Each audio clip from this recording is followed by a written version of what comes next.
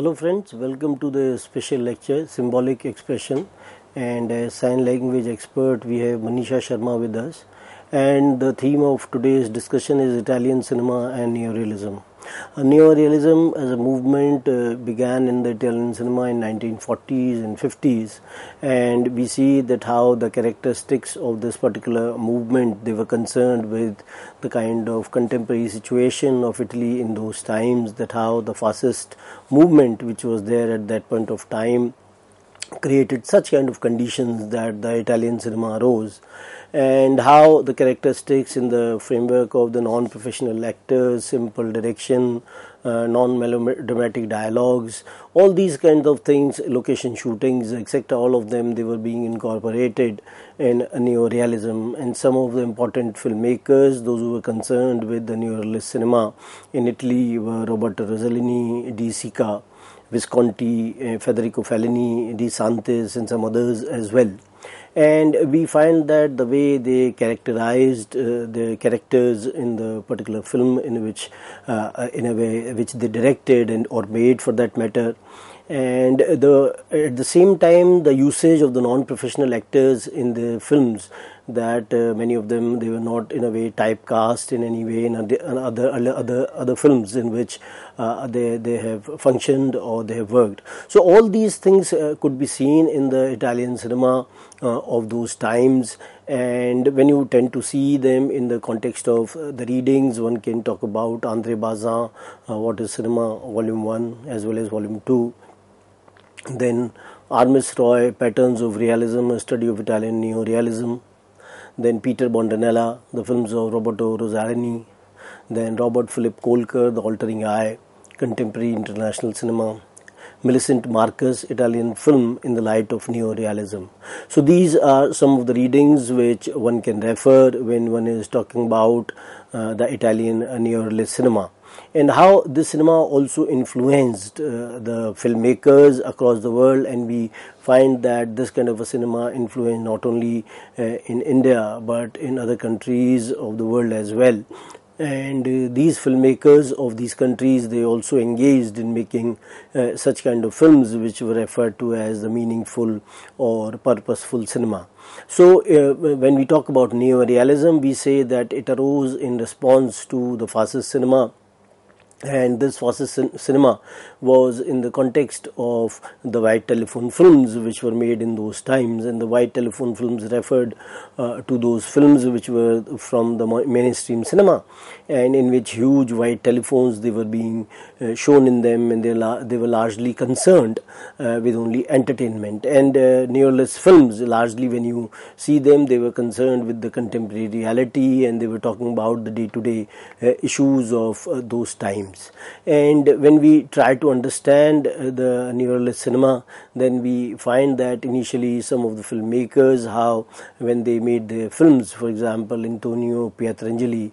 uh, to Luchino Visconti, all these uh, filmmakers, how they in a way initiated this particular brand of cinema. Obsession or Ossessione was Visconti's film and it is considered to be some sort of an harbinger of the neorealist film or neorealist cinema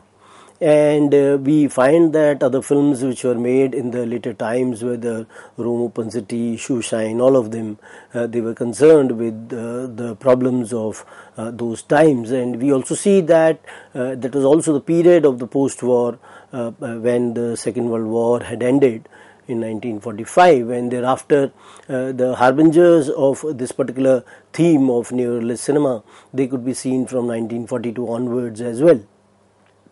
Uh, as you can see on the screen as well that uh, they were dealing with these kinds of themes uh, whether in the context of the uh, working class or in the context of the economic oppression which you find in the in those times. Then they were also dealing with the framework of the kind of struggle of the people for the sustenance of their lives and the issues of poverty they were also there. So when you talk about this kind of a cinema which was neo-realist in nature then they were in a way trying to talk about the kind of challenges which were being posed to the people in the post-war times of uh, that particular era. And how people they were dealing with these kinds of issues that that was also being discussed in these particular films. And we find that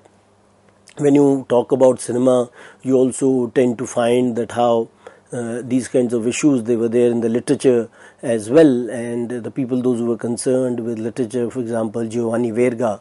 and how he provided the narrative prototype for an alternative to cliche and falsehoods of uh, fascist film industry through his writing tradition of Verismo, which meant truth. And uh, Verga was a follower of the realist tradition in the Italian art. He was concentrating on the less privileged uh, social strata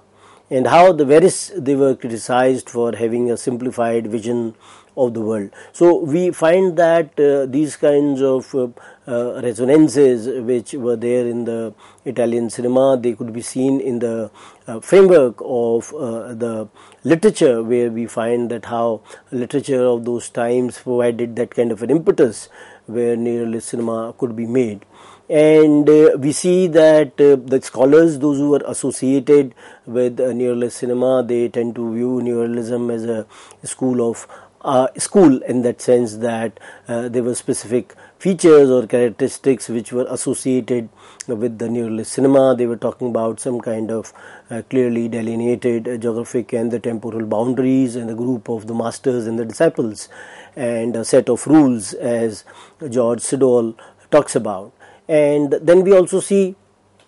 when uh, this uh, these kinds of films when they came into practice then we find that how location shooting was important uh, natural lighting again was important and the predominance of the medium uh, and the long shots uh, could be seen.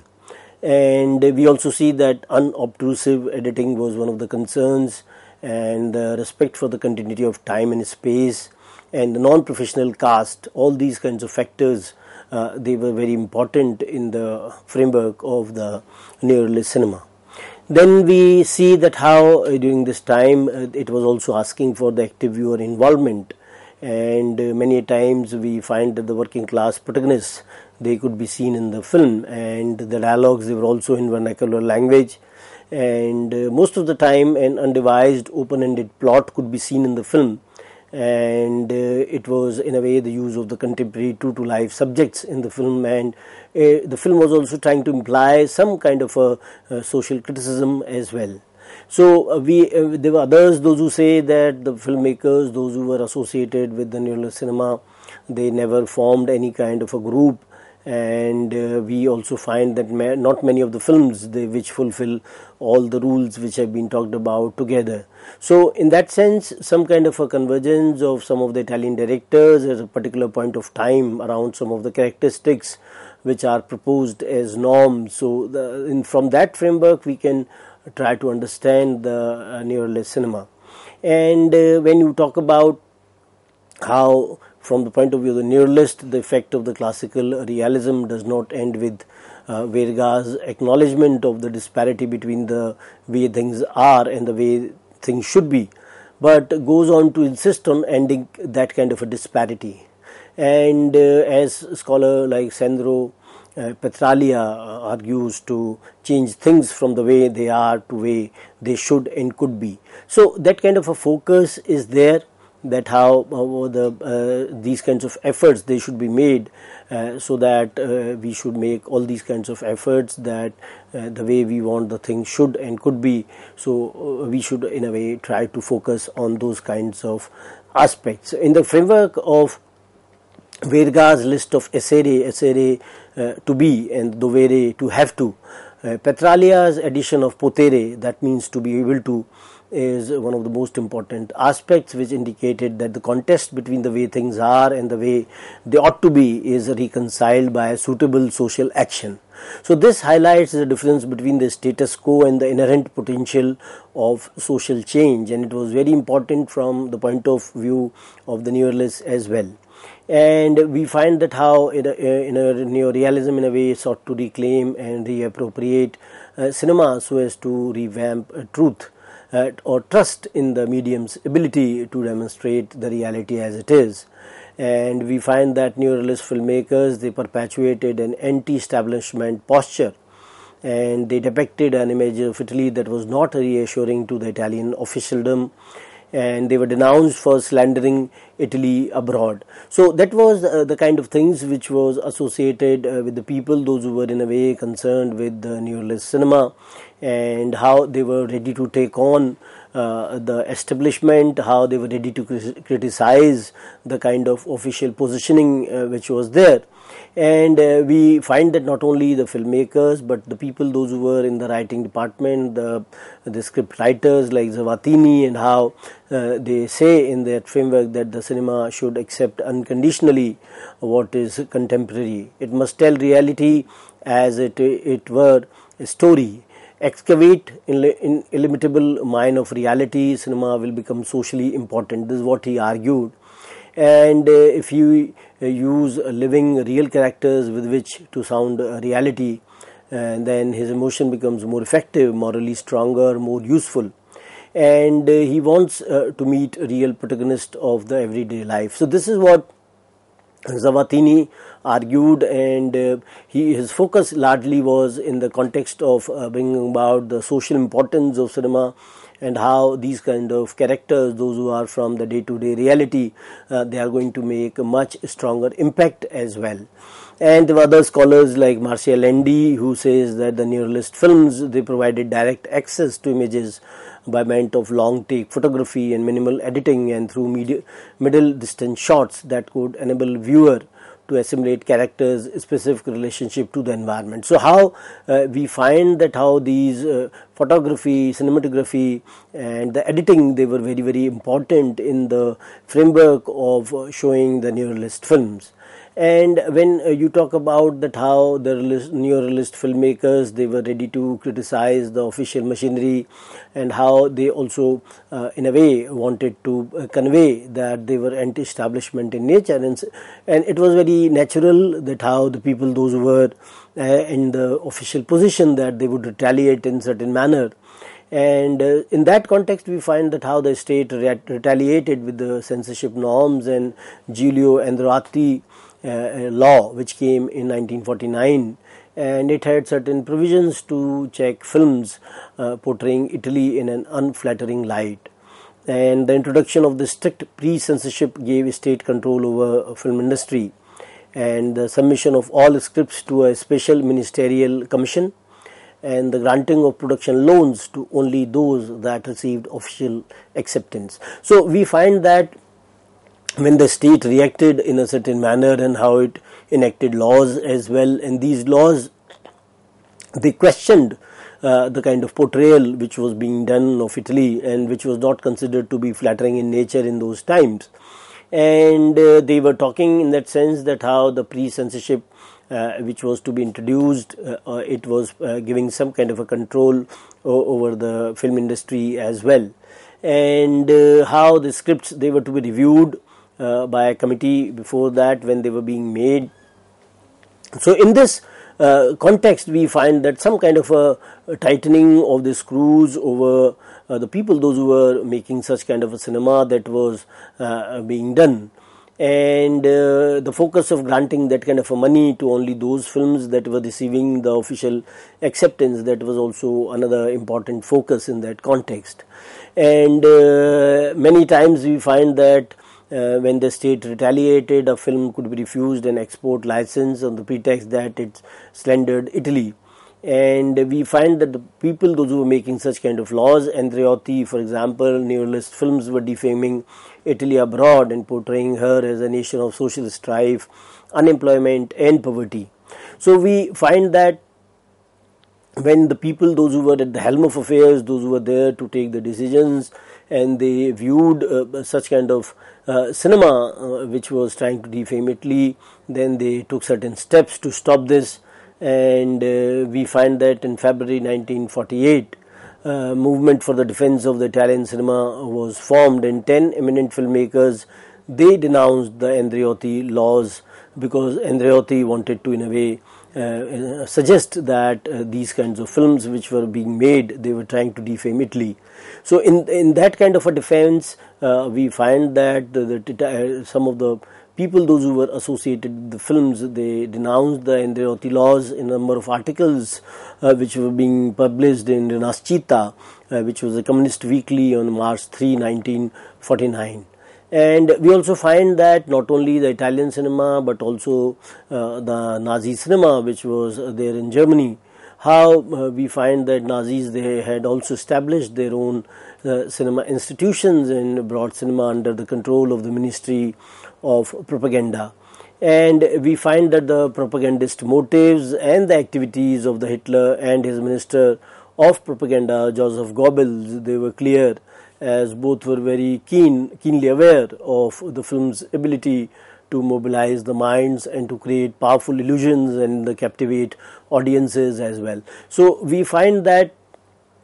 how the um, uh, Nazis also through uh, the Ministry of uh, Propaganda, how Joseph Goebbels, who was also the minister or who was rather the minister of this particular ministry and how these people they were very clear that how they had to in a way restrict uh, the kind of cinema which was being made in Germany at that point of time and how they wanted to bring cinema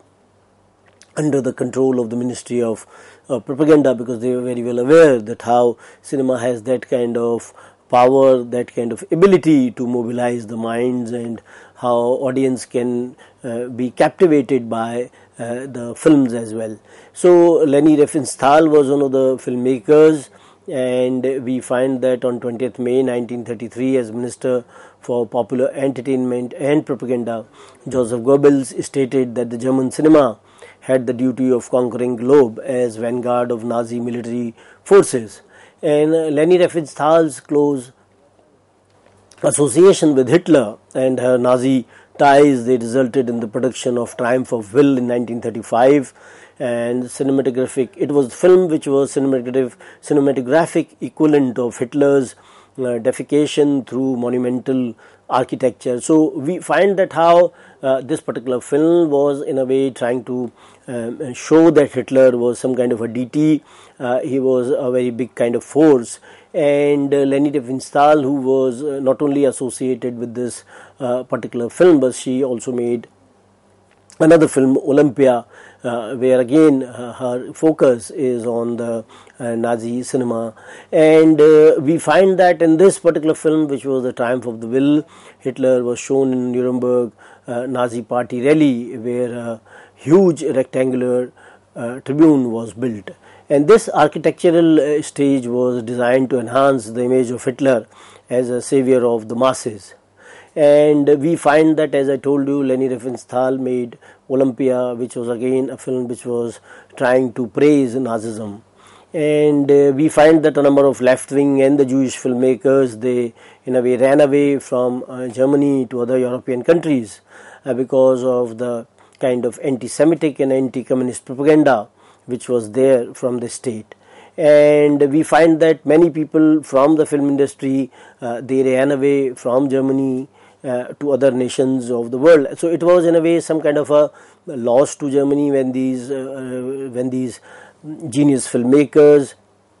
they ran away from Germany to other nations, and it was some sort of a gain uh, to these nations that they were able to receive uh, these filmmakers. So we find that uh, even the Italian cinema of the fascist rule from 1922 to 1943 has been seen as a cinema of propaganda and we find that under the fascist rule cinema that was being created was detached from the reality and it was aimed at promoting an excellent image of Italy and we find that the neorealist films uh, uh, we find that there was a reaction against the white telephone films as I told you earlier as well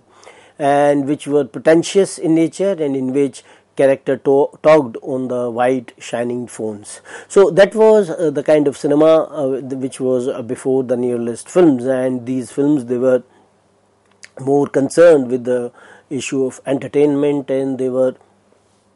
trying to detach themselves from any kind of a reality which existed in the Italian uh, society of those times. So, in that uh, context, when we try to position uh, neorealism, then we find that uh, how the filmmakers uh, they were trying to position neorealism and how it emerged in the response to this uh, genre which delved in the imagination as well as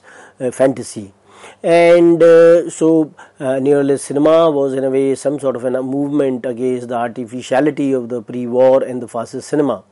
And the focus of the neorealist cinema was to make uh, films more and more meaningful and purposeful uh, for the audience that how the audience they are able to gain uh, something from uh, these kinds of films which were made. And when we tend to understand the people those who were trying to view these kinds of films and they were trying to understand them in a particular kind of a context. Then humanists like Andre Bazin, they explain the neorealist phenomena, phenomena in terms of its moral content, that how the moral content was important in the neorealist films and he sees the basic humanism of the contemporary Italian films as their principal merit. And for Bazin, we find that mise-en-scène is a sense of uh, the neorealist film and by mise-en-scène he refers to the deep focus photography and the sequence shot and how these devices they permit audience to be more involved in the viewing of the film. So we find that how uh, the people those who were in a way associated in terms of understanding of the cinema how uh, they were not only trying to see realism or neorealism uh, not so much as a technique that can one exercise or an effect which is being induced in viewer but rather uh, it was seen as some sort of an attitude or a position that a filmmaker adopts in relation to the subject matter. And when you tend to understand uh, it in the framework of the people those who have worked then social historians like Umberto Barbaro in Italy and Georges Seurat in France and how they postulate neorealism as an exclusive articulation of the war and the anti-fascist resistance with stress on the social concern. So we will talk further about the ideas of uh, the filmmakers, uh, those who are in a way uh, connected to the neorealist films as well as the theoreticians, those who have talked about the neorealist cinema and how they have tried to in a way critically analyze the films which have been made within the framework of neorealism in our next lecture. Thank you very much.